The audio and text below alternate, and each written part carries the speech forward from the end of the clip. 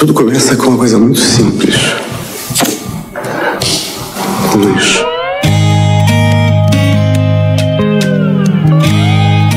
Eu me interesso por arte contemporânea. Eu sou artista contemporâneo.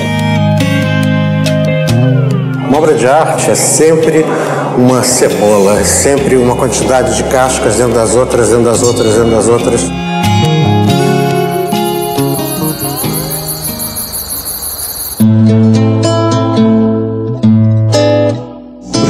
Nunca, ofereceu nada. Dá a impressão de que ele tem muita coisa dentro dele. Ele não, não explicava. Ele queria. Tudo que ele fazia tinha um significado. Olhando para trás, o Tunga foi uma nuvem, entendeu? Eu nunca conheci um artista que tivesse feito da própria vida a própria arte.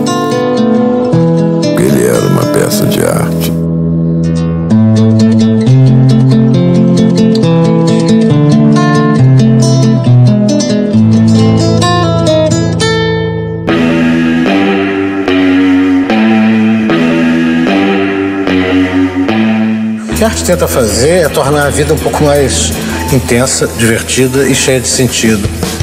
Eu acho que o público para que eu faço as coisas é esse público, que é totalmente diferente, cada um do outro, e tem uma coisa de comum. Quem tem poder não é o artista, é a obra de arte. Né? O artista vai embora, a obra fica, continua dando sentido, gerando sentido.